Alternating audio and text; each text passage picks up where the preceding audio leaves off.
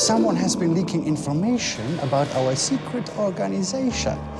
If the truth is revealed, anyone will be able to switch and save with MediaCom Business. Internet, phone, and TV. No one must know how much we are saving. Hey guys, sorry I'm late. Wow, this place is awesome. I can't wait to post this on my blog. No. The truth is, it's hard to keep Mediacom business a secret. All right, selfie with the leader.